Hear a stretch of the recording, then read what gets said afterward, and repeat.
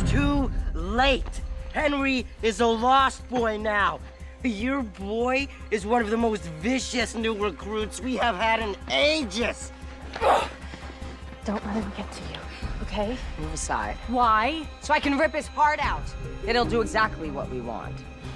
This is not how we do things. Emma, we can find another way to get to Henry. Really? What do you think, Emma?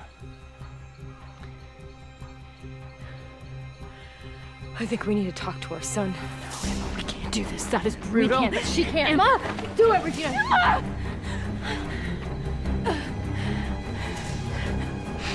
I'm sorry.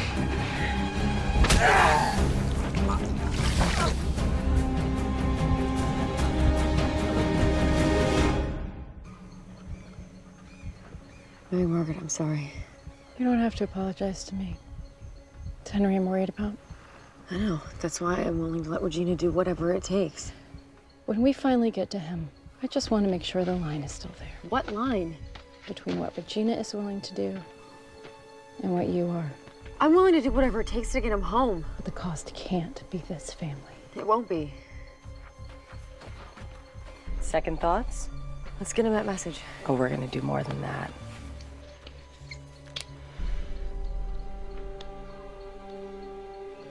We're gonna see him.